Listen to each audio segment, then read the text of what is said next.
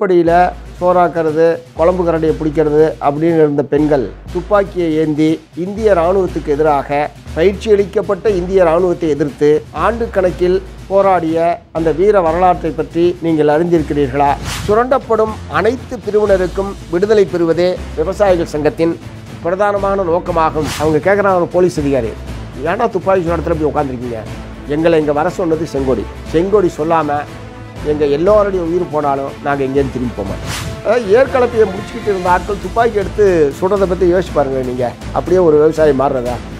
எந்த சினிமாவிலையுமே நீங்கள் அந்த மாதிரிலாம் பார்க்க முடியாது. ஓராண்டு காலம் இந்திய இராணுவத்தை எதிர்த்து மூவாயிரம் கிராமங்களை இயக்கம் ஆட்சி செய்து என்றால் கற்பனை செய்து பாருங்க. நிலப்பரப்புகளை போய் பார்த்து அவங்கள்ட்ட பேச்சு சமாதான முறையில் பேசி மனமாற்றத்தை ஏற்படுத்தி நிலத்தை அவங்கள்ட்டேருந்து வாங்கி நிலமற்ற ஏழைகளுக்கு விநியோகிப்பது முதல் முதலாக இந்தியாவில் நிலச்சீர்திருத்த சட்டம் என்ற ஒரு சட்டத்தை கொண்டு வந்தது இஎம்எஸ் தலைமையிலான கேரள அரசாங்கம். தான். அடிமை முறைகள் மனிதர்களை விற்கிற முறைகள் இருக்கிற பல்வேறு நாடுகளிலேயே கூட சாணியை கரைத்து அதை மனிதனை கட்டாயப்படுத்தி குடிக்க வைப்பது என்கிற இந்த தண்டனை முறை உலகத்தில் வேறு எங்கேயும் இருந்தது மாதிரி இதுவரைக்கும் படித்த எந்த வரலாறுலையுமே இல்லை. விலங்கினும் கீழாக மாட்டை கூட இந்த மாதிரிலாம் கல் வச்சாலும் அடிப்பானு சொல்ல முடியாது. ஏன்னா அதனுடைய சொத்து. ஆனால் இவர்கள் வந்து பண்ணை அடிமைகளை அவங்க சொத்தாக கூட நினைக்கிறதில்ல. தோழர் மணலூர் மணியம்மை நடத்திய போராட்டம். அதே மாதிரி தோழர் என். வெங்கடாசனம் தீண்டாமை கொடுமைக்கு எதிராக அவருடைய சொந்த கிராமத்தில் சொந்த சாதியை எதிர்த்து நடத்தி போராட்டத்தை நடத்தியவர். அவன் வந்து அரை லிட்டர் இல்லை ரெண்டு லிட்டர் தரது கூட ரெடியாக இருந்தான். செங்கொடியை இறக்கு மஞ்சள் கொடியை ஏற்று நெல் உற்பத்தியாளர் சங்கத்திலே மஞ்சள் ஏற்று செங்கொடியை இறக்கு. இது மட்டும்தான் அவங்க கேட்டது. எவ்வளோ வேணாலும் தரேன். எங்கள் உயிரே போனாலும் செங்கொடியை இறக்க மாட்டோம். ஒரு சின்ன தீக்குச்சி நம்ம கையை சுட்டுச்சுன்னா எவ்வளவு எப்படி உதறீங்க? ஆனால் உடம்பு முழுவதும் எரிஞ்சு முடிஞ்சு கறிக்கட்டை ஆகிற வரைக்கும் வீட்டுக்குள்ளேயே இருக்கிறத பற்றி நீங்கள் யோசிச்சு பாருங்கள் விவசாயிலேருந்து தொழிலதிபர் ஆக்க போகிறோன்னு வேற இப்போ ரெண்டு நாளைக்கு முன்னாடி பிரதமர் அவர்கள் சொல்லியிருக்கிறாரு. ஏற்கனவே விவசாயத்தை ஒழுங்காக பண்ண முடியாமல் இருக்காங்க. அவன் எப்படி தொழிலதிபர் ஆகணும்னு எனக்கு தெரியல. ஏன்னா நீதிமன்றம் இராணுவம் போலீஸு எல்லாமே உடைமை வர்க்கத்துக்கு ஆதரவாகத்தான் இருக்கும் என்று அன்றைக்கே காரல் மார்க்ஸ் எழுதி வச்சுட்டு போயிருக்காரு. இன்றைக்கு வரைக்கும் நம்ம பார்த்துக்கிட்டு இருக்கிறோம்.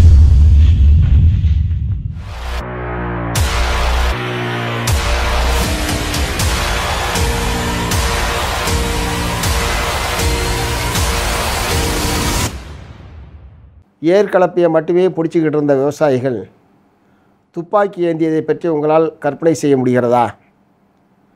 அல்லது அடுப்படியில் சோறாக்கிறது குழம்பு கரண்டியை பிடிக்கிறது அப்படின்னு இருந்த பெண்கள் துப்பாக்கியை ஏந்தி இந்திய இராணுவத்துக்கு எதிராக பயிற்சி அளிக்கப்பட்ட இந்திய இராணுவத்தை எதிர்த்து ஆண்டு கணக்கில் போராடிய அந்த வீர வரலாற்றை பற்றி நீங்கள் அறிந்திருக்கிறீர்களா? ஊமையாய் ஆமையாய் குருடராய் செருடராய் இப்படி இருந்த ஆதிவாசி மக்கள் கையிலே ஆயுதத்தை ஏந்தி மும்பை மாநகரத்தில் பிரம்மாண்டமான ஊர்வலத்தை நடத்திய அந்த அதிசயத்தை பற்றி நீங்கள் நிச்சயமாக அறிந்து கொள்ள வேண்டும்.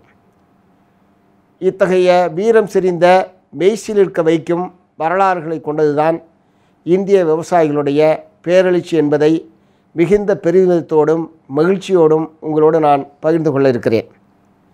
பிரிட்டிஷ் ஏகாதிபத்தியத்தை எதிர்த்த முதல் விடுதலை போர் ஆயிரத்தி எண்ணூற்றி ஐம்பத்தி ஏழிலே துவங்கினாலும் அதற்கு முன்பாகவே பிரிட்டிஷ் ஏகாதிபத்தியத்தை எதிர்த்து அதனுடைய நிர்வாகத்தை எதிர்த்து வரி கொடுமைக்கு எதிராக நில வெளியேற்றத்துக்கு எதிராக அல்லது ரயத்துவாரி முறை ஜமீன்தாரி முறை என்று ரெண்டு முறையை பிரிட்டிஷ் ஏகாதிபத்தியம் இங்கே அமல்படுத்தி கொண்டிருந்தது. ஜமீன்தாரி முறை என்பது ஊரில் இருக்கிற மொத்த நிலமும் ஒரு ஜமீன்தார் கையில் ஒப்படைக்கப்பட்டு அவர் மூலமாக வரி வசூலித்து பிரிட்டிஷ் அரசாங்கத்துக்கு கொடுப்பது. ரைத்துவாரி என்பது நேரடியாக விவசாயிகளே வரியை அரசுக்கு செலுத்துவது.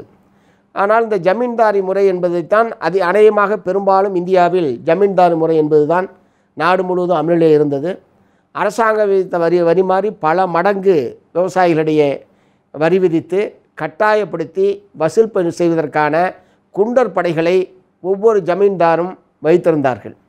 அந்த குண்டற்படை தான் விவசாயிகளை அது விளைந்தாலும் விளையாவிட்டாலும் மழை பெய்தாலும் பெய்யாவிட்டாலும் அவர்கள் தீர்மானித்த கேட்கிற வரியை கட்டாயம் கொடுத்தாக வேண்டும் என்கிற மிகப்பெரிய வரிக்கொடி வரி கொடுமை என்பது வரி கொடுமையை எதிர்த்த போராட்டம் என்பது அந்த காலத்திலே விடுதலை போராட்டம் துவங்குவதற்கு முன்பாகவே இந்திய நாடு முழுவதும் நடைபெற்றது. குறிப்பாக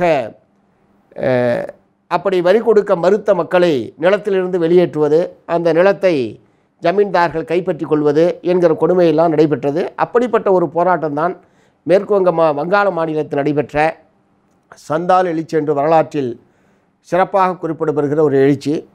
மக்களெல்லாம் வரி கட்ட முடியாமல் நிலத்தை விட்டுவிட்டு மலைப்பகுதிகளுக்கு சென்று காடுகளை கொன்று நாடாக்கி அதை வயல்வெளியாகி விவசாயம் செய்ய ஆரம்பித்தார்கள். அந்த நிலங்களையும் ஜமீன்தாருடைய குண்டற்படை அதிலிருந்து வெளியேற்றுவதற்கு முயற்சித்த போது அந்த மக்கள் குண்டற்படைக்கு எதிராக மிகப்பெரிய தாக்குதலை தொடுத்து அதன் விளைவாக அரசாங்கம் ஒரு சமசரத்துக்கு வர வேண்டிய கட்டாயத்தை ஏற்படுத்தியவர்கள் இது வந்து ஆயிரத்தி எழுநூற்றி எழுபது எழுபத்தைந்துகள்லேயே நடைபெற்றது. நீங்கள் வந்து இந்திய விடுதலை போர் துவங்கினது என்பது ஆயிரத்தி எண்ணூற்றி ஐம்பத்தேழு தான். அதுக்கு ஏறத்தாழ நூறாண்டுகளுக்கு முன்பாகவே விவசாயிகளுடைய ஆதிவாசி மக்களுடைய பிரம்மாண்டமான எழுச்சி அந்த சந்தால் எழுச்சி என்று வரலாற்றில் குறிப்பிடப்படுகிற மிக முக்கியமான ஒரு போராட்டம். அதற்கு அடுத்ததாக கேரள மாநிலத்தில் மாப்பிளா கழகம் என்று சொல்லக்கூடிய மாப்பிள்ளை கழகம் என்று சொல்லக்கூடிய மாப்பிளா கிளர்ச்சி என்று வரலாற்றில் குறிப்பிடப்படுகிற முஸ்லீம்களுடைய போராட்டம் நில வெளியேற்றத்துக்கு எதிராக வரி கொடுமைக்கு எதிராக அவர்கள் நடத்திய போராட்டமும் வரலாற்றில் குறிப்பிடத்தகுந்தது. அதைப் போலவே ஆயிரத்தி எண்ணூற்றி ஐம்பதுகளில் அல்லது அதுக்கு முன்பாக சற்று முன்பாக மேற்கு வங்க வங்க மாநிலத்தில் சன்னியாசிகள் எழுச்சி என்பது மிக குறிப்பிடத்தக்க வரலாற்றில் குறிப்பிடத்தக்க ஒரு எழுச்சி. அதாவது நாட்டில் ஏற்பட்ட பஞ்சம் பசி பட்டினி பட்டினியில் மக்கள் எல்லாம் கடுமையான பட்டினி கொடுமைக்கு ஆளாகி ஆளாகிய போது ஏறத்தாழ முப்பத்தஞ்சு லட்சம் பேர் பட்டினியால் மாண்ட ஒரு கொடுமை அந்த காலத்தில் நடைபெற்றது. உற்பத்தி இருந்தும் வியாபாரிகள் பெரும் பதுக்கல்காரர்கள் உணவு தானியங்களை எல்லாம் பதுக்கி வைத்து அபரிமிதமாக விலையை ஏற்றி சாதாரண மக்களால் வாங்க முடியாத ஒரு நிலைமையை ஏற்படுத்தினார்கள். இத்தகைய தட்டுப்பாட்டை ஏற்படுத்திய அந்த பதுக்கல்காரர்கள் மீது பிரிட்டிஷ் ஆட்சியாளர்கள் எந்த விதமான நடவடிக்கை எடுக்காமல் மக்கள் தெருக்கரிலே சுருண்டு விழுந்து மாண்ட கொடுமை என்பது நடைபெற்றது. அந்த கொடுமையை கண்டு பொங்கி எழுந்த சன்னியாசிகள் பதுக்களை கைப்பற்றி மக்களுக்கு உணவளிப்பது உணவு தானியங்களை விநியோகிப்பது போன்ற எழுச்சி என்பது வரலாற்றில் குறிப்பிடத்தக்க ஒரு சன்னியாசிகள் இப்படிப்பட்ட எழுச்சி என்பது அனைவரும் உலக வரலாற்றில் வேறு எங்கேயும் இப்படி நடந்திருக்கிறதா என்பது கூட நம்மால் பார்க்க முடியாது. ஆகவே இப்படி பிரிட்டிஷ் ஏகாதிபத்தியத்தின் முறையான விடுதலை போர் துவங்குவதற்கு முன்பாகவே இத்தகைய எழுச்சிகள் அஸ்ஸாமில் பீகாரில் வங்கத்தில் கேரளாவில் ஆந்திராவில் என்று சொல்லி சென்னை மாகாணத்தில் என்று சொல்லி பல இந்தியாவினுடைய பல பகுதிகளிலும் இத்தகைய போராட்டங்கள் நடைபெற்றது. ஆங்காங்கே விவசாய சங்கங்கள் என்பதும் தோன்றியது. முறையான ஒரு விவசாயிகள் சங்கம் அகில இந்திய அளவில் தோன்றியது என்பது ஆயிரத்தி தொள்ளாயிரத்தி முப்பத்தி ஆறாம் ஆண்டு ஏப்ரல் மாதம் பதினொன்றாம் தேதி லக்னோவில் நடைபெற்ற ஒரு மாநாட்டிலே தான் முறையான அகில இந்திய விவசாயிகள் சங்கம் என்கிற அமைப்பு என்பது தோற்றுவிக்கப்பட்டது. அந்த முதல் மாநாட்டிலேயே பல்வேறு அரசியல் பின்புலம் இல்லை கம்யூனிஸ்டுகள் சோசலிஸ்டுகள் காங்கிரஸ்காரர்கள் எந்த அரசியல் பின்புலமும் இல்லாதவர்கள் என்று சொல்லி எல்லா தலைவர்களும் கலந்து கொண்ட ஒரு மாநாடாக அந்த மாநாடு என்பது நடைபெற்றது. என்ஜி ரங்கா உள்ளிட்டவர்கள் லால் பகதூர் சாஸ்திரி போன்றவர்கள் இஎம்எஸ் நம்பூதிரிபாத் போன்றவர்கள் சகஜானந்த சரஸ்வதி சுவாமிகள் இந்த மாதிரி பலதரப்பட்ட நபர்களும் கலந்து கொண்ட ஒரு மாநாடாக நடைபெற்று அதிலே தான் சுவாமி சகஜானந்த சரஸ்வதி சுவாமிகள் அகில இந்திய விவசாயிகள் சங்கத்தினுடைய அகில இந்திய தலைவராக தேர்ந்தெடுக்கப்பட்டார். ஆகவே ஆரம்பத்திலிருந்தே விவசாயிகள் சங்கம் என்பது எல்லோ எல்லா விவசாயிகளையும் ஒருங்கிணைக்கிற எல்லா விவசாயிகளையும் இடம்பெறு பெறுவதற்கான ஒரு விரிந்து பிறந்த அமைப்பாகத்தான் இது துவக்கப்பட்டது. துவக்கத்திலேயே அதனுடைய கொடியாக அருவா சுத்தியல் பொறிக்கப்பட்ட அகில இந்திய விசா ஏஏகேஎஸ் என்று சொல்லக்கூடிய கொடிதான் கொடியாக அன்றைக்கு மாநாட்டிலே ஏற்றுக்கொள்ளப்பட்டது.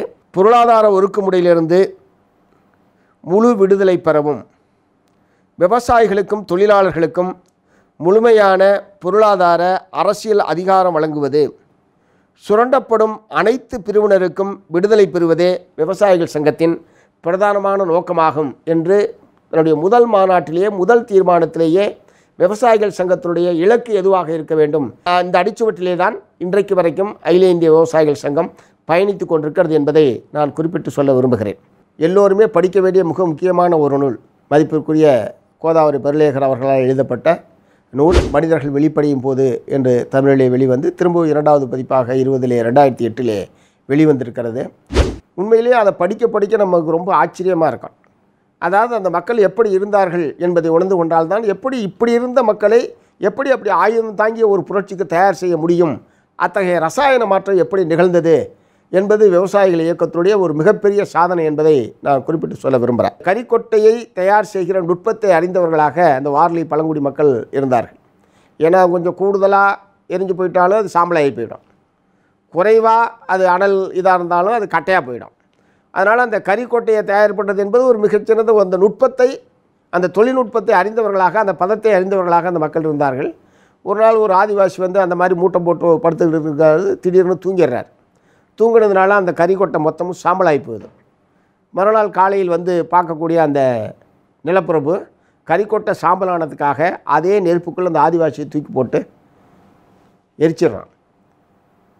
அதை மக்களெல்லாம் வேடிக்கை பார்த்து கொண்டிருக்கிறார்கள். இதே மாதிரி இன்னொரு சம்பவம்.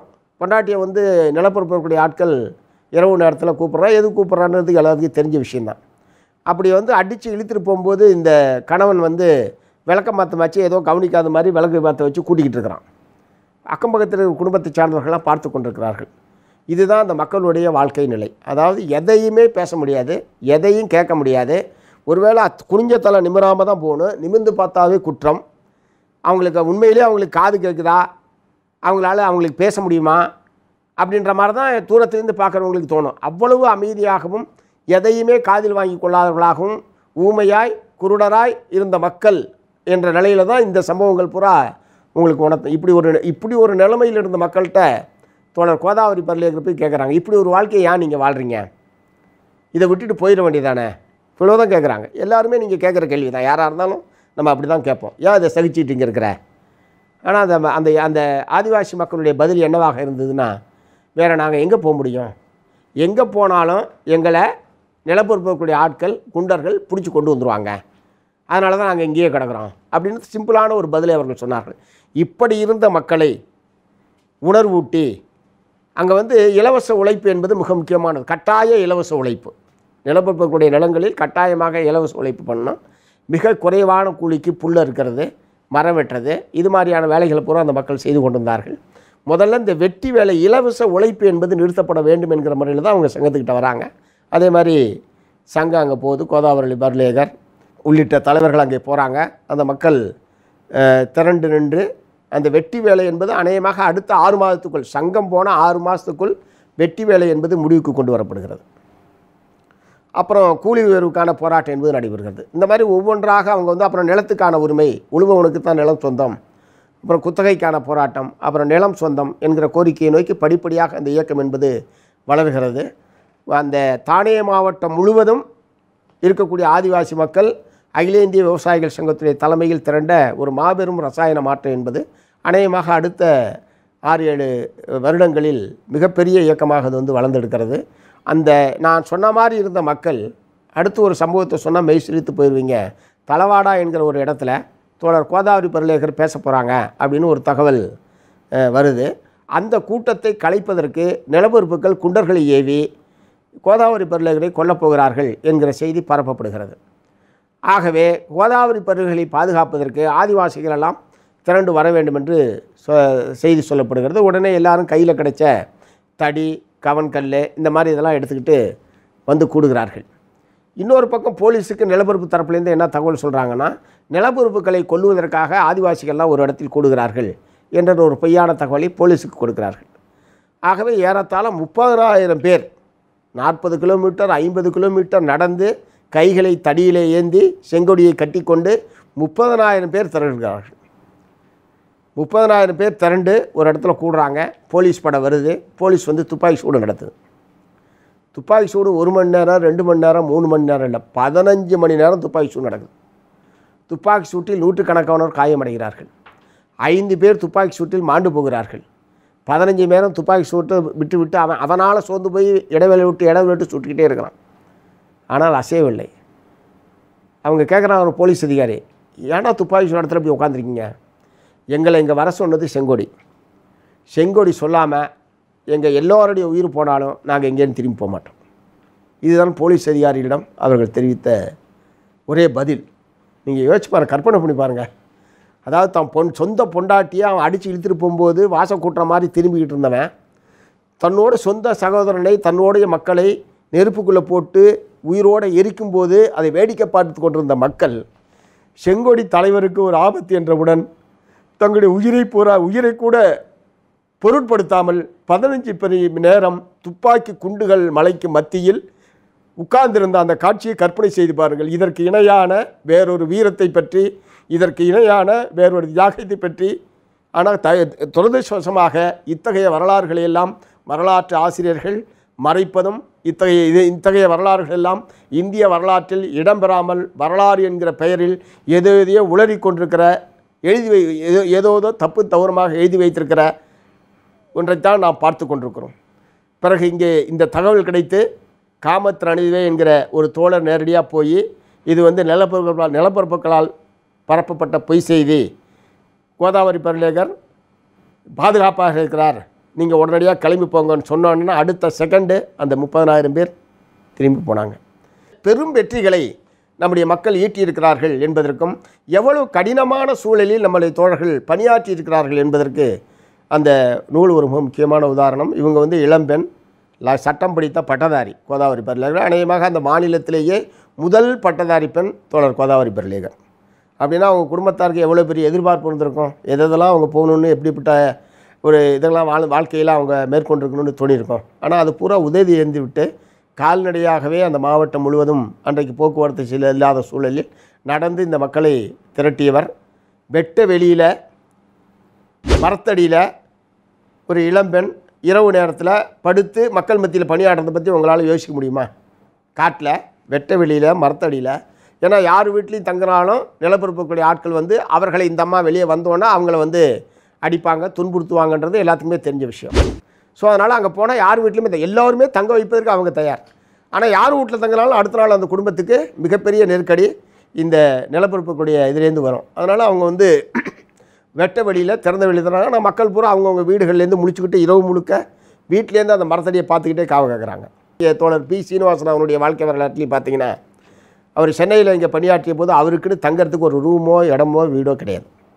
தினந்தோறும் ஒரு திண்ணையில் படுத்துக்கொண்டு ஒரு மனிதன் தேச சேவைக்காக ஈடுபடுவதை பற்றி உங்களால் நம்மளால் கற்பனை பண்ணி பார்க்க முடியுமா? இந்த மாதிரி வேறு எந்த இயக்கத்திலாவது யாராவது ஒரு தலைவரை உங்களால் உதாரணம் காட்ட முடியுமா? துரதிருஷ்டவசமாக இத்தகைய வரலாறுகளை எல்லாம் படிக்காமலேயே பலரும் பொது உடைமை இயக்கத்தை கிண்டல் செய்வது கேலி செய்வது அவதூறு பரப்புவது இதையெல்லாம் படித்த எவனும் அது சில அவர்கள் சொல்லக்கூடிய சுட்டிக்காட்ட சில குறைபாடுகள் இருந்தாலும் கூட இத்தகைய வா தலைவர்களுடைய வாழ்க்கை வரலாறு படிக்கக்கூடிய எவரும் பொது உடைமை இயக்கத்தை வெறுப்பதற்கோ பொது உடைமை இயக்கத்துக்கு எதிராக ஒரு அவதூறு பிரச்சாரத்தை மேற்கொள்வதை பற்றியோ கற்பனையில் கூட எவராலையும் நினைக்க முடியாது. அதாவது ஏற்கலப்பையை முடிச்சுக்கிட்டு இருந்த ஆட்கள் துப்பாக்கி எடுத்து சுடுறதை பற்றி யோசிச்சு பாருங்களேன் நீங்கள் அப்படியே ஒரு விவசாயி மாறுறதா? எந்த சினிமாவிலையுமே நீங்கள் அந்த மாதிரிலாம் பார்க்க முடியாது. அப்படி ஒரு பெரிய மாற்றத்தை ஆயிரத்தி தொள்ளாயிரத்தி நாற்பது நாற்பத்தொன்னில் துவங்கி ஐம்பத்தொன்றுக்குள்ளே ஒரு பத்து வருஷ காலம் அந்த போராட்டம் என்பது நடைபெற்றது. அங்கேயும் அவங்களும் முன்வைத்த கோரிக்கை என்பது இலவச வெட்டி வேலை. அது பேரே வெட்டி. வெட்டி வேலை என்பது நிறுத்தப்படணும் அப்படின்றது தான் அந்த மக்களுடைய ஆரம்பகால கோரிக்கையாக இருந்தது. அதுக்கு எதிராகத்தான் அவர்கள் ஆந்திர மகாசபா என்கிற ஒரு அமைப்பை உருவாக்கி அதன் அதுவும் கம்யூனிஸ்ட் இயக்கமும் சேர்ந்து அந்த போராட்டத்தை துவக்குகிறார்கள். கட்சியினுடைய வழிகாட்டுதல் என்னென்னா மக்கள் யாரும் ஆயுதத்தை ஏந்தக்கூடாது. இப்படி ஒரு வழிகாட்டல் காமிச்சிருக்காங்க. என்ன பண்ணுறது அன்றைக்கி இருந்த தலைவர்களுக்கு அது ஏதோ ஆயுதம் எடுக்கிறது ஆகப்பெரிய கூட்டமாக தெரிஞ்சிருக்கு ஆரம்பத்தில். ஆயுதங்கள் எடுக்கக்கூடாது. ஆனால் எதிர்ப்புற ஆயுதத்தோடு வர்றான். அப்புறம் அனுபவத்திலேருந்து பின்னாடி தற்காப்புக்காக நீங்கள் ஆயுதத்தை பயன்படுத்தலாம் அப்படின்ற முறையில் பின்னாடி இயக்கம் வந்து ஒரு வழிகாட்டுன்னு வச்சுக்கோங்க. ஆனால் அந்த மக்கள் ரொம்ப விவரமானவங்க. நீங்கள் ஆயுதம் தானே எடுக்கக்கூடாது நீங்கள் அவங்க என்ன பண்ணாங்க? கவன் கல் மிளகாப்பொடி சுடு தண்ணி கொதிக்கிற எண்ணெய் கல் கற்கள் இதை இது பூரா நீங்கள் ஆயுதம் கணக்கு கணக்கில் வராதுல உங்களுக்கு. நகரத்தில் இருக்கிறவங்களுக்கு தெரிஞ்ச ஆயுதம் இது கிடையாது. அவன் ஆயுதம் எதுக்கு எடுக்கக்கூடாதுன்னு சொன்னது வேறு. துப்பாக்கி மற்றது கத்தி குறைச்சிடுவான் இவங்க அதுக்கு நேர் எதிரான ஆயுதங்களை பூரா மக்கள் உருவாக்கினார்கள். எதிரிகளை பூரா கவன்களால் அடித்து இது பண்ணுறது பெண்களாக இருந்தால் மிளகா பொடியை ரெடியாக வச்சுக்கிட்டு இருப்பாங்க. எவ்வளோ கூட்டம் வந்தாலும் மிளகா பொடியை வச்சுக்கிறது கொதிக்கிற தண்ணி வராங்கன்னு முன்கூட்டியே தெரிஞ்சுன்னா தண்ணியை கொதி கொதிக்க வச்சு அதை எடுத்து எதிரிகள் மேலே வீசுறது. அவன் அவன் துண்டை காணாம் துணியை காணான்னு ஓடுறது. இது வந்து நீங்கள் இந்த மாதிரியான அவ இது வந்து மக்களாக உருவாக்கிய இந்த எதிரிகளை எப்படி சந்திப்பது என்பதை மக்கள் தானாக உருவாக்கி கொண்ட எதிர்ப்பு நடைமுறைகள் இது பூரா. அது பூரா நீங்கள் அதில் குறிப்பாக தெலுங்கானா போராட்டத்தின் மிக முக்கியமான அம்சம் பெண்கள் அதிகமாக இந்த போராட்டத்தில் பங்கேற்றது. பெண்களால் என்ன முடியும்? அவங்களுக்கு அடுப்படியை தவிர வேறு என்ன தெரியும்? அப்படின்னு இருந்த காலத்தில் ஆயிரத்தி தொள்ளாயிரத்தி நாற்பதுகள்லாம் எப்படி வந்திருக்குன்னு யோசிச்சு பாருங்கள் இப்பயும் பெரும்பகுதி பெண்கள் அப்படி தான் வச்சுக்கிட்டு இருக்கானுவ ஆனால் கிட்டத்தட்ட அறுபது ஆண்டுகளுக்கு முன்பாக நாற்பதுகளில் அது எண்பது வருஷத்துக்கு முன்னா முன்பாக நாற்பதுகளில் பெண்கள் வந்து வெளியில் ஏறி இந்த மாதிரி ராஜாக்கர் குண்டற்படையையும் நிலப்பிரபுக்களுடைய குண்டற்படையையும் எதிர்த்து இத்தனைக்கும் அவங்க வந்து ஒன்றும் சாதாரண ஆட்கள் இல்லை. அடிப்பது சித்திரவதை செய்வது சிறையில் போடுவது பூரா இந்த கொடி தே- கொடுமைகளுக்கு மத்திய நிர்வாணப்படுத்தி தெருவிலை ஓட விடுவது நிர்வாணப்படுத்தி அந்த சாக்கு கோணிக்குள்ளே எலிய க- மற்ற அஹ், தேள் இந்த மாதிரியான இதெல்லாம் பிடிச்சி உள்ளே விட்டு அதை வந்து கட்டி விட்டு அவங்க எத்தகைய துடிப்பு துடிப்பாங்க? அந்த மாதிரி அவங்கள ஓட விடுறது. இந்த மாதிரியான விதவிதமான சித்திரவதைகள் பூரா அவனை வந்து பண்ணுற பண்ணிய நிலையில் விடாப்பிடியாக அவர்களை எதிர்த்த போராட்டத்தை நடத்தியவர்கள் பெண்கள். இன்னொன்று அதில் இருக்கிற முக்கியமான விஷயம் அநேகமாக இந்திய அரசியல் சமூக வரலாற்றின் கொரில்லா யுத்தத்தை முதல் முதலாக வெற்றிகரமாக நடத்தியவர்கள் தெலுங்கானா போராட்ட வீரர்கள் தான். ஒரு ரெண்டாயிரம் கொரில்லா வீரர்களை இயக்கம் உருவாக்கியது. பத்தாயிரம் பேர் மக்கள் இராணுவம் என்கிற பெயரிலேயும் ரெண்டாயிரம் பேர் கொரில்லா வீரர்கள் என்கிற பெயரிலேயும் இந்திய இராணுவத்தை எதிர்த்து ஐம்பதனாயிரம் பேர் இந்திய இராணுவத்துக்காரன் போகிறான் இந்த ஐம்பதனாயிரம் பேர் எதிர்க்கிறதுக்கு பத்தாயிரம் மக்கள் இராணுவ படை ரெண்டாயிரம் பேர் கொரில்லா வீரர்கள் ஓராண்டு காலம் இந்திய இராணுவத்தை எதிர்த்து மூவாயிரம் கிராமங்களை இயக்கம் ஆட்சி செய்து என்றால் கற்பனை செய்து பாருங்கள் மூவாயிரம் கிராமங்கள் மூன்றாண்டு காலம் அங்கே வரி வசூல் நிர்வாகம் கல்வி சுகாதாரம் சகலத்தையும் கிராம ஆட்சி என்பது நடைமுறைப்படுத்தியது. அதுக்கு ஈடு இணையான வேறொரு போராட்டத்தை இந்திய வரலாற்றில் எதையுமே சொல்ல முடியாது. ஒரு மிகச்சிறந்த பல்வேறு படிப்பணிகளை இந்தியாவில் மக்கள் ஜனநாயக புரட்சியை நடத்த வேண்டும் என்று திட்டமிட்டு செயல்பட்டு கொண்டிருக்கக்கூடிய மார்க்சிஸ்ட் கம்யூனிஸ்ட் கட்சிக்கு மிகப்பெரிய அனுபவ படிப்பணிகளை வழங்கிய ஒரு போராட்டம் இந்த தெலுங்கானா போராட்டம் என்பதை நான் வந்து சொல்ல விரும்புகிறேன் குறிப்பாக தோழர் பி. சுந்தரையா அவர்கள் அந்த போராட்டத்துடைய மொத்த அம்சங்களையும் ஒரு ஒரு ஒரு சம்பவத்தை கூட விடாமல் வீர தெலுங்கானா என்கிற ஒரு மிகப்பெரிய நூலாக அது தமிழிலேயே வெளிவந்திருக்கிறது. தோழர்கள் அவை அவசியம் படிக்க வேண்டிய இயக்க இயக்கத்தில் இருக்கக்கூடியவர்கள் மட்டுமல்ல பொதுவாகவே விவசாயிகள் எழுச்சியை பற்றியும் ஆயுதம் தாங்கிய போராட்டத்தை பற்றியும் படிக்க விரும்புகிற அனைவரும் படிக்க வேண்டிய மிக முக்கியமான நாள் வீர தெலுங்கானா. தெலுங்கானா போராட்டம் என்பது வெட்டி வேலை எதிர்ப்பு தீண்டாமை ஒழிப்பு போன்ற நோக்கங்களோடு துவக்கப்பட்டிருந்தாலும் ஹைதராபாத் நிஜாமை எதிர்த்த போராட்டமாக போராட்டமாகத்தான் அதன் உச்சபட்ச போராட்டம் என்பது இருந்தது. ஹைதராபாத் நிஜாமினுடைய கட்டுப்பாட்டில் இருந்த கிராமங்கள் அனைத்தும் இந்திய அரசாங்கத்தோடு இணைய வேண்டும் மொழிவழி மாநிலம் அமைய வேண்டும் என்கிற கோரிக்கையோடு அந்த தெலுங்கானா போராட்டம் என்பது இணைக்கப்பட்டது. ஆனால் ஹைதராபாத் நிஜாம் வந்து அந்த காலத்திலேயே ஆயிரத்தி தொள்ளாயிரத்தி நாற்பது நாற்பத்தைந்துகளில் ஆண்டுக்கு ரெண்டு கோடி ரூபாய் வருமானம் வரக்கூடிய ஒரு நபராக அந்த நபர் இருந்தாருன்னா நீங்கள் கற்பனை பண்ணி பாருங்கள் அவன் எவ்வளோ பெரிய ஒரு இந்திய அரசாங்கத்துக்கு இணையான ஒரு அரசாங்கத்தை நடத்திக்கிட்டு இருந்து யோசிச்சு பாருங்கள் அந்த அளவுக்கு ஒரு எண்பத்தி மூணாயிரம் சதுர கிலோமீட்டர் பரப்பளவு உள்ள நிலம் ஹைதராபாத் நிஜாமுக்கு சொந்தமாக இருந்தது. நம்முடைய இயக்கத்தினுடைய இந்த பேரெழுச்சி காரணமாக கடைசியில் நிஜாம் வந்து இந்திய அரசாங்கத்திடம் சரணடைந்து ஹைதராபாத்தை வந்து ஹைதராபாத் நிஜாமுக்கு சொந்தமான அந்த பகுதி முழுவதும் சமஸ்தானம் முழுவதும் இந்திய அரசாங்கத்தோடு இணைந்து அதற்கு பிறகு தான் இந்திய அரசாங்கத்தினுடைய இராணுவம் தெலுங்கானாக்குள்ளே நுழையுது. ஆனால் நிஜாமினுடைய ரஜாக்கர் குண்டர் படையை விட ரொம்ப மோசமான சித்திரவதையிலும் கொடூரமான தாக்குதல்களில் ஈடுபட்ட ஒன்றாக இந்திய இராணுவத்தினுடைய நடவடிக்கை என்பது இருந்தது. ஸோ அதை வந்து கிட்டத்தட்ட ஐம்பதனாயிரம் இராணுவ வீரர்கள் உள்ள நுழைஞ்சி இந்த தெலுங்கானா எழுச்சியை ஒடுக்குவதற்கான ஒரு கடுமையான முயற்சியில் ஈடுபட்டாங்க. ஒரு கட்டத்தில் ஏறத்தாலும் ஒரு வருட காலம் நம்முடைய தோழர்கள் இந்திய இராணுவத்தை எதிர்த்து வீரம் செறிந்த போராட்டத்தை நடத்தி தாங்கள் கைப்பற்றியிருந்த மூவாயிரம் கிராமங்கள் பத்து லட்சம் ஏக்கர் நிலம் இந்த நிலம் முழுவதும் விவசாயிகளுக்கு பிரித்தளிக்கப்பட்டது. மக்களிடமிருந்து பறிக்கப்பட்ட நிலப்பரப்புகளால் பறிக்கப்பட்ட நிலம் மீண்டும் மக்களிடம் ஒப்படைக்கப்பட்டது. காந்தி கூட அவருடைய ராஜ்யத்தை பற்றிலாம் சொல்கிறாரு காந்தியினுடைய ராஜ்யம் ராமராஜ்யம் ராமராஜ்யம்னு இன்றைக்கும் பெருமையாக பேசிகிட்டு இருக்காங்க. அவர் ஒரு கடத்தில் என்ன சொல்லியிருக்காரா நான் விரும்பும் சுதந்திர இந்தியாவில் மன்னர்களும் உண்டு குடிகளும் உண்டு. அங்கே நிலப்பரப்புகளும் இருப்பார்கள் விவசாயிகளும் இருப்பார்கள். அதுதான் என்னுடைய ராமராஜ்யம் என்று காந்தி சொன்னார். அதனால் அவரை பொறுத்த வரைக்கும் இருக்கிற செட்டப்பில் எந்த மாற்றமும் கூடாது. இது இப்படியே தொடர வேண்டும். அதுதான் என்னுடைய ராமராஜ்யம் என்ற முறையில் தான் காந்தி வந்து சொல்லிக்கிட்டு இருந்தார். இன்னொரு சம்பவத்தை இதோடு எனக்கு நான் சொல்ல விரும்புகிறேன் காந்தி வந்து ஆயிரத்தி தொள்ளாயிரத்தி இருபத்தி ரெண்டாம் வருஷம் ஒத்துழையாமை இயக்கத்தை முதல் முதலாக இந்தியாவில் துவக்கினார். கிராமப்புற விவசாயிகள் தொழிலாளர்கள் பலரும் அந்த போராட்டத்தில் ஈடுபட்டார்கள். அந்த போராட்டம் துவங்கி ஒரு பதினைந்தாவது நாளில் உத்தரப்பிரதேச மாநிலம் சௌரி சௌரா என்கிற ஒரு சின்னஞ்சிறிய கிராமம். ஒரு சின்னஞ்சிறிய கிராமத்தில் அங்கே இருக்கிற விவசாயிகள் கோபமடைந்து அந்த போலீஸ் காவல் நிலையத்தை தீ வைத்து கொளுத்துகிறார்கள். இது ஒரு சம்பவம். ஆனால் இந்த ஒரு சம்பவத்திற்காக காந்தி ஒத்துழையாமை இயக்கத்தையே திரும்ப பெறுகிறார். அதாவது நாடு பூரா பிரிட்டிஷ் ஏகாதிபத்தியத்திற்காக எதிராக எ- எதிராக மக்கள் வீதியிலே திரண்டு நின்று கோபாவேசமாக போராடி கொண்டிருக்கிற போது ஒரு காவல் நிலையத்தை தீ வைத்து கொளுத்தியது தவறு என்று சொல்லி ஒரு சின்னங்கி சிறிய கிராமத்தில் நடந்த ஒரு சிறு த நிகழ்ச்சிக்காக ஒத்துழையாமை இயக்கத்தையே காந்தி வந்து திரும்ப பெற்று ஒட்டுமொத்த விடுதலை இயக்கத்தையே பின்னுக்கு தள்ளிய ஒரு சம்பவம் அந்த காந்தியினுடைய அந்த நடவடிக்கை. உண்மையில் சொல்லப்போனால் கோபாவில் இருந்த மக்களுக்கு பூரா கடும் கோபம் காந்தியின் மீது திரும்புவதற்கு அந்த சம்பவம் ஒரு காரணமாக இருந்தது. அதிலே நூற்றி எழுபத்தி ரெண்டு விவசாயிகளுக்கு மரண தண்டனை விதிக்கப்பட்டது. அந்த காவல் நிலையத்தை கொளுத்திய கூட்டத்திற்காக இத்தனையும் காவல் நிலையத்தை நூற்றி எழுபத்தி ரெண்டு பேரும் கொளுத்தாங்களான்னு தெரியாது. எத்தனை பேர் தீ வச்சாங்கன்னு கூட தெரியாது. ஒருத்தன் கூட போய் தீ வச்சிருக்கலாம். ஆனால் பிரிட்டிஷ் நீதிமன்றம் நூற்றி எழுபத்தி ரெண்டு பேருக்கு மரண தண்டனை விதித்தது. அந்த சம்பவத்தில் ஈடுபட்ட விவசாயிகள் அனைவரையும் காந்தி கடுமையாக கண்டித்தார். அவர்களுக்கு ஆதரவாக வழக்கு நடத்துவதற்கு கூட காங்கிரஸ் கட்சி தயாராக இல்லை. அந்த அளவுக்கு ஒரு வெறுப்பை. அதுக்கு மிக முக்கியமான காரணம் அவர் வன்முறையை விரும்பாதது அவர் அகிம்சை வழியில் போராடினார் என்பதல்ல காரணம். முக்கியமாக போராட்டத்துடைய தலைமை தன்னுடைய கட்டுப்பாட்டை விட்டு சென்றுவிடக்கூடாது இதை நாம் அங்கீகரித்தால் நாடு முழுவதும் ஆங்காங்கே போராட்டம் அங்கங்கே ப பல்வேறு நபர்களுடைய தலைமையில் அது சென்றுவிடும். தன்னுடைய கட்டுப்பாட்டை விட்டு இந்த தலைமை கட்டு த நம்முடைய தலைமை என்கிற அந்த கட்டுப்பாடு என்பது தளர்ந்துவிடும் என்கிற ஒரே நோக்கத்திற்காகத்தான் அவர் இந்த சம்பவத்தை காரணமாக வைத்து இது பல நேரத்தில் நீங்கள் வந்து பார்க்க முடியும்.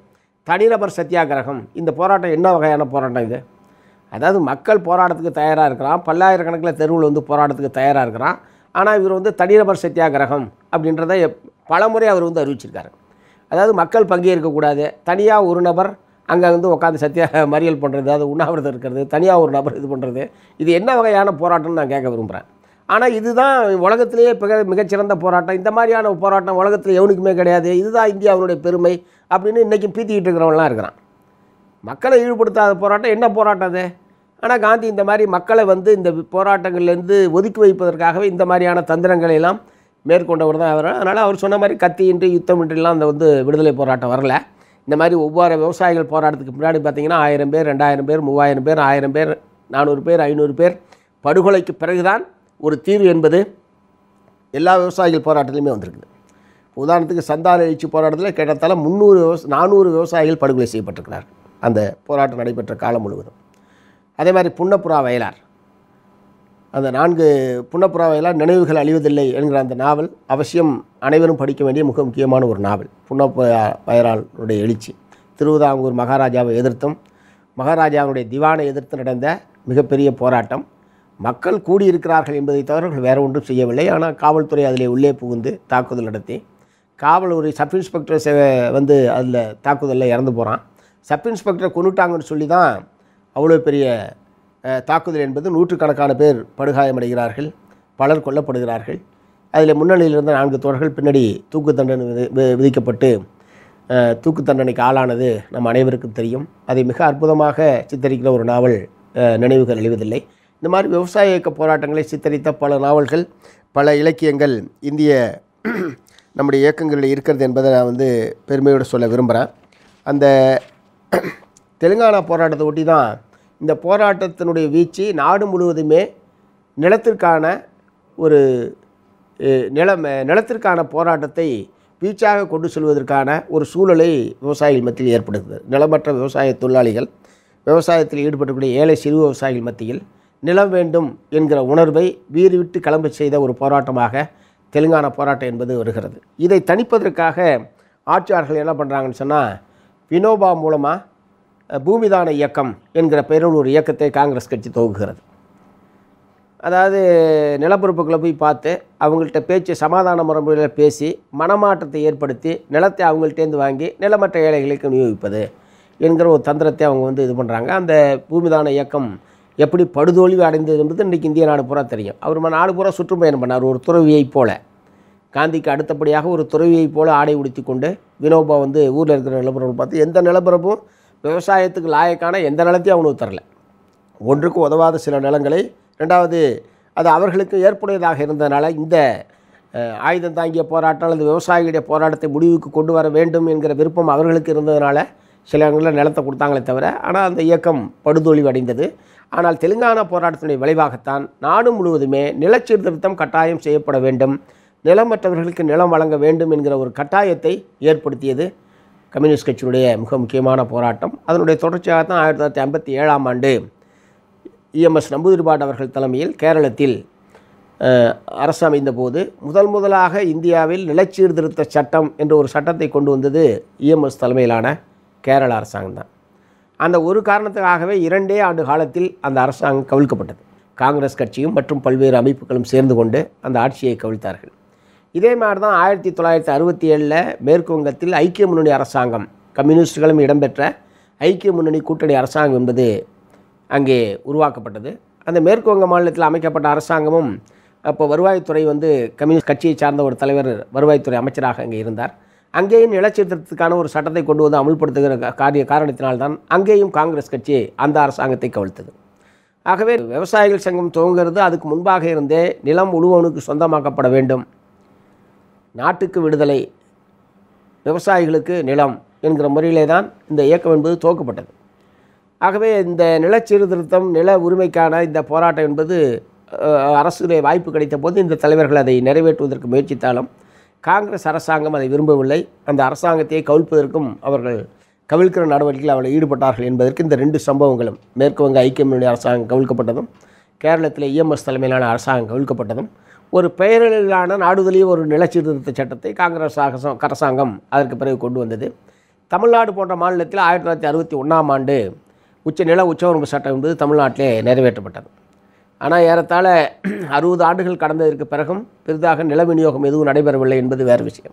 அது பின்னாடி நம்ம வருவோம். ஆனால் இந்த நிலம் வேண்டும் நிலம் பகிர்ந்தளிக்கப்பட வேண்டும் என்கிற இந்த நோக்கம் இந்த எண்ணம் விவசாயிகள் மத்தியில் உருவாக்குவதற்கும் அதை அடைய வேண்டும் என்கிற நோக்கத்தில் அவர்கள் களத்திற்கு வந்ததுக்கும் தெலுங்கானா போராட்டம் மிக முக்கியமான ஒரு காரணமாக அமைந்தது என்பதை நான் வந்து சொல்ல விரும்புகிறேன் தமிழ்நாட்டை பொறுத்த வரைக்கும் தமிழ்நாடு விவசாயிகள் சங்கம் என்கிற அமைப்பு ஆயிரத்தி தொள்ளாயிரத்தி நாற்பத்தி மூன்றாம் ஆண்டு இன்றைக்கு இருக்கக்கூடிய திருவாரூர் மாவட்டம் மன்னார்குடிக்கு அருகிலுள்ள தென்கரை தென்பறை என்கிற கிராமத்திலே தான் துவக்கப்பட்டது. ஆயிரத்தி நா தொள்ளாயிரத்தி நாற்பத்தி மூணு அதான் ஒரு மாநில அமைப்புக்குழுவை கூட உருவாக்கப்படுகிறது.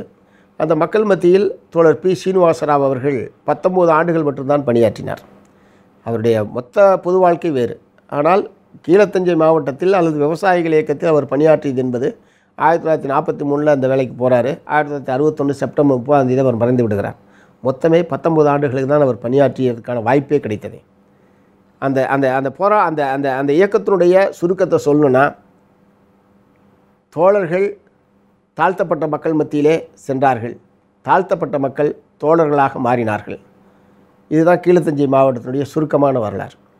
இந்த அனுபவத்தை இன்றைக்கு இருக்கக்கூடிய தோழர்கள் ஒவ்வொருவரும் தன்னுடைய வாழ்க்கையில் கடைபிடிக்க வேண்டிய மிக முக்கியமான ஒரு வரலாறு என்பதை நான் வந்து சொல்ல விரும்புகிறேன் இந்த நிலப்பொறுப்புகள் சாட்டையால் அடிப்பது என்பது இந்தியாவினுடைய பல மாநிலங்களிலும் இருந்திருக்குது. ஆனால் சாணிப்பாலை கரைத்து அதை வந்து மனிதனுடைய வாயுக்குள்ளே கட்டாயப்படுத்தி ஊற்றுவது என்கிற அந்த தண்டனை முறை அநேகமாக உலகத்தில் வேறு எந்த நாட்டிலேயும் அடிமை முறைகள் மனிதர்களை விற்கிற முறைகள் இருக்கிற பல்வேறு நாடுகளிலேயே கூட சாணியை கரைத்து அதை மனிதனை கட்டாயப்படுத்தி குடிக்க வைப்பது என்கிற இந்த தண்டனை முறை உலகத்தில் வேறு எங்கேயும் இருந்தது மாதிரி இதுவரைக்கும் படித்த எந்த வரலாறுலையுமே இல்லை. அது இங்கே மட்டும்தான். அது குறிப்பாக தமிழ்நாட்டில் கீழத்தஞ்சை மாவட்டத்தில் மட்டும்தான் இத்தகைய ஒரு கொடூரமான தண்டனை முறையை நிலப்பரப்புகள் பயன்படுத்தி வந்தார்கள். இப்போ வார்லி போராட்டத்தில் கூட ஒவ்வொரு நிலப்பருப்பினுடைய வீட்டு வாசலில் இருக்கக்கூடிய மரத்தில் ஒரு சாட்டை தொங்கிக்கிட்டு இருக்குமா அந்த சாட்டையால் தான் பண்ணையாரோ அல்லது அவனுடைய ஏஜென்ட்டோ ஆதிவாசிகளை அடிப்பதற்காக ஒவ்வொரு சாட்டை எல்லாருடைய வீட்டு வாசல்லையும் மரத்தில் தொங்கிக்கிட்டு இருக்கணும் அவங்க எதிர்க்காங்க. அதே மாதிரி இங்கேயும் எல்லா பண்ணையார்களும் சாட்டையால் அடிப்பது என்பதையும் சாணிப்பால் குடிக்க வைப்பது அது ஆண் பெண் வித்தியாசம் இல்லாமல் அவர்களை அடித்து சித்திரை அதை அடிக்கிறதுனா அந்த சாட்டைன்னா சாட்டைனா நீங்கள் ஏதோ இப்போ குதிரை வண்டி ஓட்டுறது மாட்டு வண்டி ஓட்டுறது அந்த மாதிரி சாட்டையை நினச்சிட்டு இருக்காங்க இது அது வந்து இந்த புளிய விளாறுன்னு புளிய விளாரை வெட்டி அதை மூணு பிரி அதை வந்து பின்னி அந்த முனையில் வந்து ஒரு சின்ன கூழாங்கல்லை வச்சு அதுதான் சாட்டை. நீங்கள் நினைக்கிற மாதிரி ஏதோ இந்த சாட்டை கிடையாது. நூல் சாட்டையோ கயிறுல சாட்டையோ கிடையாது. அதால் அடிக்கும்போது அந்த தோல் அப்படியே உறிஞ்சி முதுகுத்தோல் அடிக்கும் முதுகுத்தோல் அப்படியே உறிஞ்சி வெளியே வரும்னு தோட பிஎஸ் தனுஷ்கோடி பண்ணையடிமைத்தனத்தை எதிர்த்த போராட்டத்தில் பி எஸ் தனுஷ்கோடி என்கிற நூலில் அவரே ஒரு பண்ணையடிமை. ஒரு பண்ணையடிமை பண்ணையடிமைகள் விடுவிப்பதற்கான போராட்டத்தில் தலைமையேற்ற சொல்லப்போனால் ஸ்பார்டகஸுக்கு இணையான ஒரு தலைவர் தோழர் பி எஸ் தனுஷ்கோடி அதெல்லாம் நம்ம படிக்கணும். பண்ணையடிமையிலிருந்து உருவான ஒரு தலைவர். பின்னாடி ஊராட்சி மன்ற தலைவராக ஊராட்சி ஒன்றிய பெருந்தலைவராக சட்டமன்ற உறுப்பினராக உயர்ந்த ஒரு மாபெரும் வரலாற்று சாதனை நாயகன் தோழர் பி எஸ் தனுஷ்கோடி அவர் இந்த சாட்டையை அடித்தால் எப்படி அந்த பண்ணை அடிமை துடித்து போவான் என்பதை பற்றியும் அந்த சாட்டை எப்படி தயாரிக்க தயார் பண்ணப்படுகிறது எப்படி சாணிப்பா சாணியை கரைத்தவர்கள் எப்படி இது பண்ணுறாங்க என்பது ரொம்ப விரிவாக ஏன்னா அவரே அந்த கொடுமையை அனுபவித்தவர் என்பதனால் மிக தெளிவாக அந்த நூலில் அவர் வந்து குறிப்பிட்டிருப்பார். விலங்கினும் கீழாக இப்போ மாட்டை கூட இந்த மாதிரிலாம் கல் வச்செல்லாம் அடிப்பானு சொல்ல முடியாது. ஏன்னா அதனுடைய சொத்து. ஆனால் இவர்கள் வந்து பண்ணை அடிமைகளை அவங்களோட சொத்தாக கூட நினைக்கிறதில்ல. இவர்கள் நம்மளிடம் அடி வாங்குவதற்காகவே இங்கே வந்திருப்பவர்கள். நம்முடைய அடிமைகள். நாம் என்ன வேணுமானாலும் செய்யலாம் என்கிற முறையில் தான் இங்கே இருந்த நிலப்பரப்புகள் அங்கே இருந்த மக்களை வைத்திருந்தார்கள். ஆனால் இங்கே பி. சீனிவாசராவனுடைய சிறப்பு என்னென்னா குத்தகை விவசாயிகளாக இருந்த பிற்படுத்தப்பட்ட மக்களையும் பண்ணை அடிமையாக இருந்த தாழ்த்தப்பட்ட மக்களையும் ஒரு சேர இணைத்து இயக்கத்தில் கொண்டு வந்து சேர்த்தது தான் அவருடைய மிகச்சிறப்பான ஒரு பணி. முதலில் தமிழ்நாட்டிலே விவசாயிகள் இயக்கம் தோன்றியது என்பது குத்தகைதாரர் விவசாய இயக்கமாகத்தான் தோன்றியது.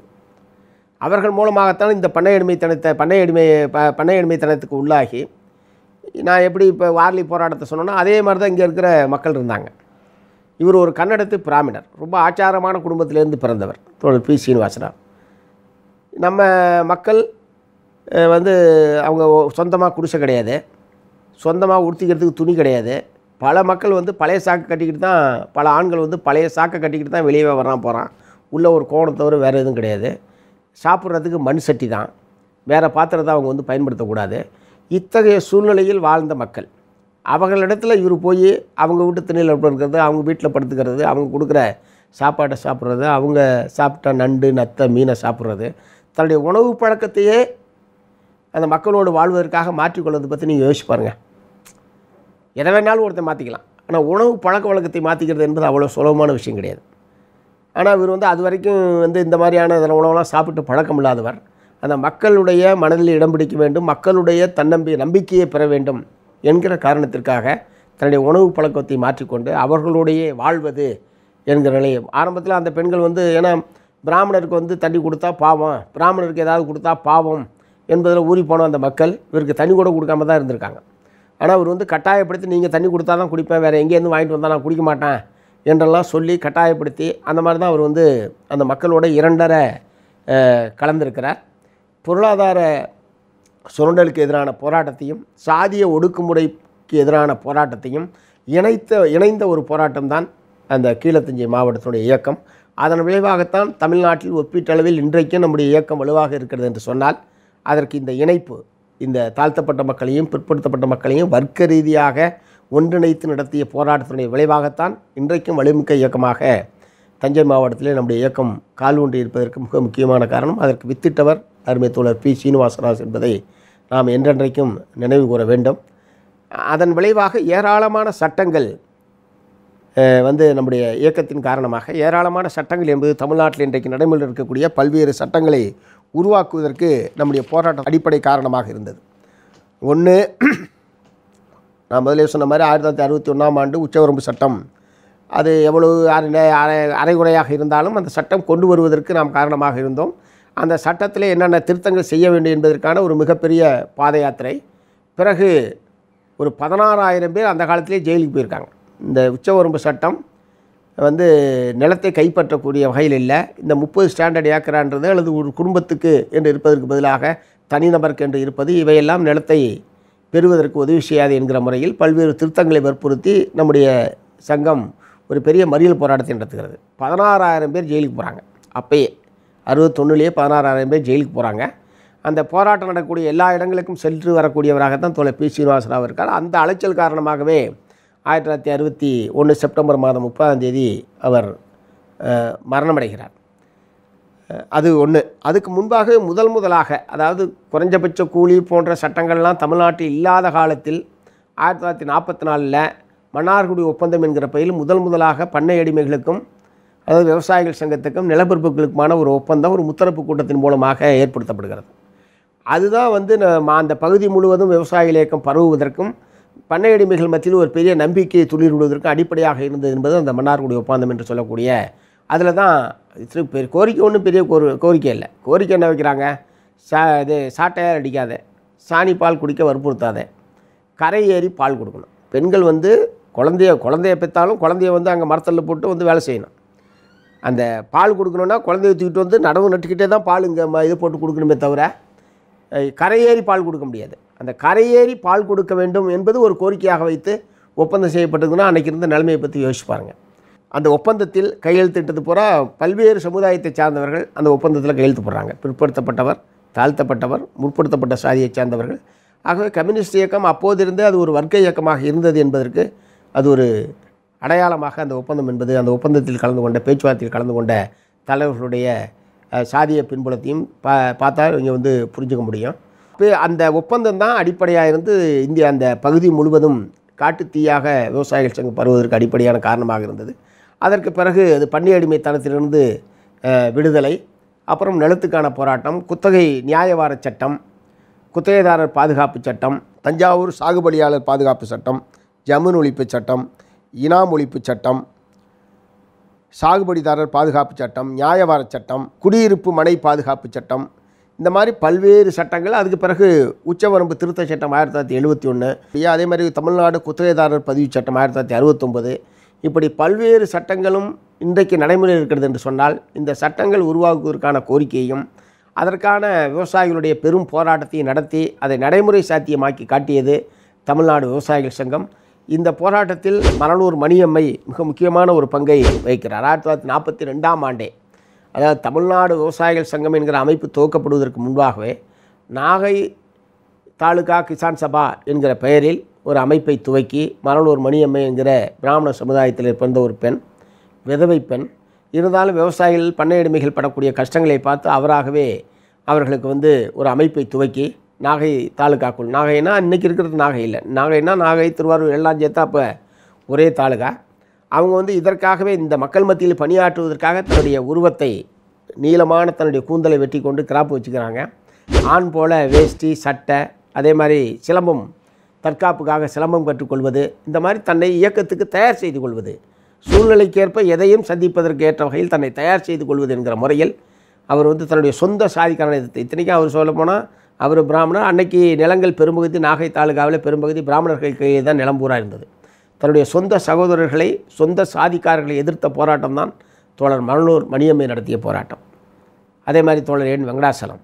அவரும் தன்னுடைய சொந்த சாதிக்காரர்களை எதிர்த்து தான் மே ஜாதிய மேலாக்கி மேலாதிக்கத்தை எதிர்த்து தீண்டாமை கொடுமைக்கு எதிராக தன்னுடைய சொந்த கிராமத்தில் சொந்த சாதியை எதிர்த்து நடத்தி போராட்டத்தை நடத்தியவர் அருமை தோழர் என் வெங்கடாசலம் அவர்கள். இப்போ எல்லாம் அப்படிப்பட்ட ஒரு தலைவர்கள்லாம் நீங்கள் வந்து யோசிக்கவே முடியாது. சொந்த சாதிகள் பொதுவாக உரையாற்றுவது பொதுவாக நம்ம வந்து வகுப்பெடுக்கிறது பொதுவாக வந்து ஆவேசமாக பேசுகிறது அதெல்லாம் பெரிய விஷயம் கிடையாது. தான் வாழக்கூடிய கிராமத்தில் நடக்கக்கூடிய இத்தகைய அக்கிரமங்களுக்கு எதிராக பாகுபாடுகளுக்கு எதிராக சொந்த சகோதரர்களை சொந்த சாதிக்காரனை உற்றார் உறவினரை எதிர்த்து களத்திலே நின்று போராடியது இந்த மலனூர் மணியம்மை தோழர் என். வெங்கடாசலம் போன்ற பல தலைவர்களை வந்து உதாரணமாக காட்ட முடியும்.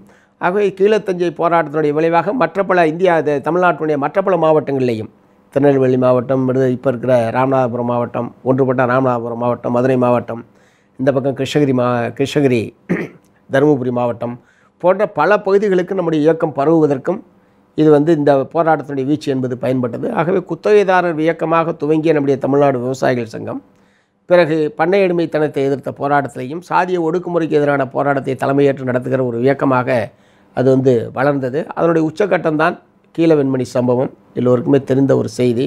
அது வந்து கூலிக்காக கூலி உயர்வு கேட்டு நடந்த போராட்டம் என்கிற முறையில் அதை சிறுமைப்படுத்துவது எதிரிகள் செய்யக்கூடிய ஒரு பிரச்சாரம். முதலில் நம்முடைய தோழர்கள் அதை புரிந்து கொள்ள வேண்டும். ஏதோ அரைப்படி லிட்டர் அரை லிட்டர் நெல்லுக்காக அப்படின்ற முறையில் எதிரிகள் சொல்லக்கூடிய அதே இதை வந்து நாம் சொல்கிறது ரொம்ப தவறானது. அவன் வந்து அரை லிட்டர் இல்லை ரெண்டு லிட்டர் தரது கூட ரெடியாக இருந்தான். செங்கொடியை இறக்கு மஞ்சள் கொடியை ஏற்று நெல் உற்பத்தியாளர் சங்கத்துடைய மஞ்சள் கொடியை ஏற்று செங்கொடியை இறக்கு. இது மட்டும்தான் அவங்க கேட்டது. எவ்வளோ வேணாலும் தரேன். எங்கள் உயிரே போனாலும் செங்கொடியை இறக்க மாட்டோம். செங்கோடி தான் எங்களை மனிதனாக்கியது. செங்கோடி தான் எங்களை மனிதனாய் மதிக்கக்கூடியது. அதை இறக்குவதற்கு எங்கள் உயிரே போனால் சம்மதிக்க மாட்டோம் என்று அந்த மக்கள் எதிர்ப்பு தெரிவித்தனுடைய விளைவுதான் அந்த படுகொலையை தவிர அரை லிட்டர் நெல்லுக்காக என்கிற முறையில் தயவு செய்து தோழர்கள் உண்மை வரலாறுகள் தெரியாமல் எதிரிகள் செய்யக்கூடிய பிரச்சாரத்தை நாம் செய்யக்கூடாது என்பதை மெத்த பணியோடு நான் வந்து கேட்டுக்க விரும்புகிறேன் அந்த எரிஞ்சூர் கோபாலகிருஷ்ண நாயுனுடைய அந்த நாயுடு என்கிற அந்த நபர் நெல் நெல் உற்பத்தியாளர் சங்கத்துடைய தலைவராக இருந்தபோது தான் அந்த கொடுமை என்பது ஆயிரத்தி தொள்ளாயிரத்தி அறுபத்தி எட்டாம் ஆண்டு டிசம்பர் மாதம் இருபத்தஞ்சாந்தேதி அந்த கொடுமை. நாற்பத்தாலு பேரை உயிரோடு கொளுத்துறதை பற்றி நீங்கள் யோசிச்சு பாருங்கள் ஒரு குடிசைக்குள் அடைத்து வைத்து குழந்தைகள் கிட்டத்தட்ட பத்தொன்பது பேர் அதில் குழந்தைகள் நாற்பத்தி நாலு பேர்த்தில் எல்லாமே ரெண்டு வயசு மூணு வயசு எல்லாம் தாயை விட்டுட்டு போக முடியாமல் தாயோட கூட ஓடி போன குழந்தைகள் பத்தொன்பது பேர் குழந்தைகள். ஏழு பேர் கிட்டத்தட்ட அறுபது வயசு அறுபத்தைந்து வயதுக்கு மேற்பட்ட முதியவர்கள். மீது பூரா பெண்கள். ஓட முடிஞ்சவங்க பூரா ஓட்டாங்க. ஓட முடியாதவர்கள் தாயுடன் இருந்த குழந்தைகள் பெண்கள் இவர்கள் அத்தனை பேரும் ஒரு துடிக்க துடிக்க ஒரு அதை அதாவது வீடு எரியுது சுற்றிலும் நிற்கிறானுவ அந்த மரண ஓலத்தை பற்றி நீங்கள் கற்பனை பண்ணி பாருங்கள் எப்படி கதறி இருப்பார்கள். ஒரு சின்ன தீக்குச்சி நம்ம கையை சுட்டுடுச்சுன்னா எவ்வளவு எப்படி உதறீங்க? ஆனால் உடம்பு முழுவதும் எரிஞ்சு முறிஞ்சு கறிக்கட்டை ஆகிற வரைக்கும் வீட்டுக்குள்ளேயே இருக்கிறத பற்றி நீங்கள் யோசிச்சு பாருங்கள் அந்த குழந்தைகளை எப்படி கதறி இருப்பார்கள்? குழந்தையாவது தப்பிச்சுக்கணுங்க குடிசையை தூக்கி குடிசை வழியாக ஒழுங்கு தொலை கொ- குழந்தையை தூக்கி ஒரு தாய் வீச வீசுறத வெளியே இருக்கிற ஒருத்தன் காய்ச்சி பிடிச்சி அதை திரும்ப அதை வெட்டி திரும்ப தீக்குள்ளே வீசுகிறான்னா அதை யோசிச்சு பாருங்கள் ஸோ இப்படிப்பட்ட பெரு பெரிய அதாவது நிலப்பரப்புத்தினுடைய நீசத்தனமான கொடுமை எப்படிப்பட்டதாக இருக்கும் என்பதற்கு ஒரு மிகச்சிறந்த எடுத்துக்காட்டு கேள்வன்மணிக்கு சொன்னோம் சாணிப்பால் சவுக்கடியை விட இதை யோசிச்சு பாருங்கள் நீங்கள் எவ்வளவு வெறி பிடித்தவர்களாக இருந்திருப்பாங்க. எப்படி இந்த மக்களை ஒரு உயிர் ஒரு உயிராகவே மதிக்காத ஒரு குணம் ஒரு உள்ளவனால் தான் இந்த மாதிரியான ஒரு தீ வச்சு கொளுத்துறதை பற்றிலாம் யோசிக்க முடியும். அதற்கு பிறகு அந்த நபர் அது நீதிமன்றங்கள்லாம் எப்படி நடந்ததெல்லாம் உங்களுக்கு தெரியும். ஏன்னா நீதிமன்றம் இராணுவம் போலீஸு எல்லாமே உடைமை வர்க்கத்துக்கு ஆதரவாகத்தான் இருக்கும் என்று அன்றைக்கே காரல் மார்க்ஸ் எழுதி வச்சுட்டு போயிருக்காரு. இன்றைக்கு வரைக்கும் நம்ம பார்த்துக்கிட்டு இருக்கிறோம். இன்றைய வரைக்கும் பார்த்துக்கிட்டு இருக்கிறோம். நீதிமன்றங்கள் காவல்துறை இராணுவம் அரசாங்கத்துறை அடக்குமுறை கருவிகள் எப்படி உடைமை வர்க்கத்துக்கு ஆதரவாக அது எவ்வளவு கீழ்த்தரமான வேலைகளையும் செய்யும் என்பதற்கு ஏராளமான உதாரணங்கள் இருக்குது கீழே விண்மணி வழக்கிலேயும் அதுதான் நடைபெற்றது. அப்புறம் மக்கள் தான் அதை தீர்த்தார்கள். அந்த ப- நபர் கொல்லப்பட்டார் என்பது எல்லாத்துக்கும் தெரிஞ்ச ஒரு செய்தி. இந்த மாதிரி ஒரு பேரெழுச்சி திரும்பவும் நாட்டிலே உருவாக வேண்டிய கட்டாயம் என்பது ஏன்னா அதுக்கு பிறகு வந்து விவசாயிகள் இடுபொருளுக்கான கட்டுப்படியான விலை கடன் பிரச்சனை போன்ற பல்வேறு விஷயங்கள் சம்பந்தமாக பல்வேறு கோரிக்கைகளுக்காக இன்றைக்கு நாம் வந்து போராடி கொண்டிருக்கிறோம். நில வெளியேற்றத்துக்கு எதிராக வீரம் செறிந்த பல போராட்டத்தை இந்தியாவினுடைய பல்வேறு மாநிலங்களில் நாம் வந்து நடத்தியிருக்கிறோம். இன்றைக்கும் ஆதிவாசி மக்களை வனத்துறை நில வெளியேற்றம் செய்வதற்கு எதிராக அந்த போராட்டத்தை தொடர்ந்து நடத்திக்கிட்டு இருக்கிறோம். பல்வேறு பாதுகாப்பான சட்டங்கள் உருவாக்குவதற்கான போராட்டத்தை நம்ம வந்து நடத்திக்கிட்டு இருக்கிறோம். இப்போது மத்திய அரசாங்கம் கடைசியாக இப்போது கொண்டு வந்திருக்கிற இந்தியாவினுடைய முதுகெலும்பு விவசாயின்னு சொல்லிக்கிட்டே முதுகெலும்பை முறிக்கிற மாதிரி மூன்று சட்டங்களை கொண்டு வந்து அதுதான் சிறந்தது. இவங்களை பூரா விவசாயிலேருந்து தொழிலதிபர் ஆக்க போகிறோன்னு வேற இப்போ ரெண்டு நாளைக்கு முன்னாடி பிரதமர் அவர்கள் சொல்லியிருக்கிறார். ஓரளவு தொழிலதிபர் ஆகினா ஜிஎஸ்டி போட்டு இவங்களை பூரா ஒழிக்கலாம்னு முடிவு பண்ணுறாரு என்னன்னு தெரில ஏற்கனவே விவசாயத்தை ஒழுங்காக பண்ண முடியாமல் இருக்காங்க. அவன் எப்படி தொழிலதிபர் ஆகணும்னு எனக்கு தெரியல. இருந்தாலும் பிரதமர் வந்து ஏதாவது ஒன்று உளறிட்டே இருக்கார் அவர். இந்த சட்டத்தை எப்படியாவது நியாயப்படுத்த வேண்டும் என்று முடிவு செய்துட்டு அவர் ஏதாவது ஒன்று சொல்லிக்கிட்டே இருக்கிறது புதுசு புதுசாக என்கிற முறையில் ஏதாவது ஒன்று சொல்லிக்கொண்டே இருக்கிறார். நிச்சயமாக இந்த மூன்று சட்டங்களும் திரும்ப பெறுகிற வரை இந்த போராட்டம் என்பது தொடர்ந்து நம்ம நடத்தி தான் தீரணும். இல்லைன்னு சொன்னால் இந்திய விவசாயம் இந்தியர்கள் கையில் இருக்காது. இந்திய விவசாயிகள் தங்களுடைய சொந்த நிலத்திலேயே கூலிகளாகவோ அல்லது வேறு ஏதாகவோ வேலை செய்ய வேண்டிய ஒரு நிலைமை என்பது இந்த சட்டம் அமலுக்கு வந்தால் நிலத்தை இழந்துவிட்டு வேறு எதுவாகவோ அவர்கள் இருக்க வேண்டிய கட்டாயத்தை இந்த சட்டம் என்பது ஏற்படுத்தும். ஆகவே இப் ஆகவே இந்த விவசாயிகளுடைய இந்த போராட்டம் என்பது மேலும் வீர் கொண்டு எழ வேண்டியிருக்கு. ஆனால் பிரச்சனை என்னென்னா கிராமப்புறத்தில் இருக்கக்கூடிய விவசாயிகள் ஜாதி மதம் சுற்று வட்டாரம் போன்ற பல்வேறு பிரிவினை கருத்துக்களுக்கு ஆளானவர்களாக இருக்கிறார்கள். இன்னும் சொல்லப்போனால் அரசியல்னால் என்னானே தெரியாமல் ஓட்டு போடுறது மட்டும்தான் நினச்சிக்கிட்டு இருக்கவங்க தான் இவங்க பெரும்பகுதி. இத்தகைய பின்தங்கிய நிலையில் உள்ள விவசாயிகள் மத்தியில் நாம் பணியாற்றி அவர்களை வர்க்க அடிப்படையில் ஒன்று திரட்ட வேண்டிய மிகப்பெரிய வரலாற்று கடமை என்பது நமக்கு முன்னால் இருக்கிறது.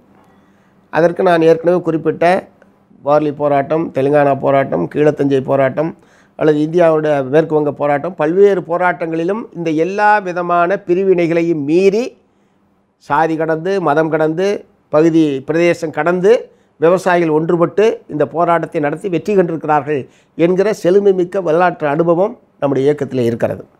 இந்த அனுபவத்தை படிப்படியாக கொண்டு இப்போதும் இத்தகைய சூழலில் விவசாயிகள் இருந்தாலும் அவர்களை அணிதிரட்டுவதற்கான பணியில் நாம் நம்மை அனைவரும் ஈடுபடுத்திக் கொள்ள வேண்டும். விவசாயிகளை திரட்டாமல் மக்கள் ஜனநாயக புரட்சி என்பதோ அல்லது மக்கள் ஜனநாயக அணியை கட்டுவது என்பதோ சாத்தியமே இல்லாத ஒன்று. ஆகவே விவசாய இயக்கத்தை விவசாயிகளுடைய பிரச்சனைகள் மீது நேரடியாக புரட்சிக்கு வாங்கினா யாரும் வரமாட்டாங்க. அப்படின்னா என்னன்னு தான் கேட்பாங்க. ஆகவே விவசாயிகளை இன்றைக்கு பாதிக்கக்கூடிய பிரச்சனைகளின் மீது அவர்களை அணிதிரட்டுவதன் மூலமாக அவர்களை வர்க்க உணர்வு பெற்றவர்களாக மாற்றுவதன் மூலமாகத்தான் மக்கள் ஜனநாயக முன்னணியினுடைய முன்னணி படைகளில் ஒன்றாக விவசாயிகள் இயக்கத்தை விவசாய தொழிலாளர்களை நாம் அணிதிரட்ட முடியும். அந்த வகையில் முன்னுக்கு வரக்கூடிய எல்லா பிரச்சனைகளின் மீதும் நம்முடைய இயக்கம் நம்முடைய தோழர்கள் கட்சியினுடைய தோழர்கள் விவசாயிகளுக்கு ஆதரவாக விவசாய தொழிலாளிகளுக்கு ஆதரவாக களத்திலே நிற்பதன் மூலமாக அவர்களுடைய நம்பிக்கை பெற்ற நாயகர்களாக நம்முடைய தோழர்கள் மாறுவதன் மூலமாகத்தான் கிராம கிராமப்புறங்களை செங்கோடி இயக்கத்தினுடைய கோட்டையாக மாற்ற முடியும். அதற்கான சபதத்தை இந்த நூற்றாண்டு நேரத்தில் நாம் எடுத்துக்கொள்வோம். அதுதான் இன்றைக்கு நாம் செய்ய வேண்டிய மிக முக்கிய பணி என்று கூறி வாய்ப்புக்கு நன்றி கூறி நிறைவு செய்கிறேன். வணக்கம்.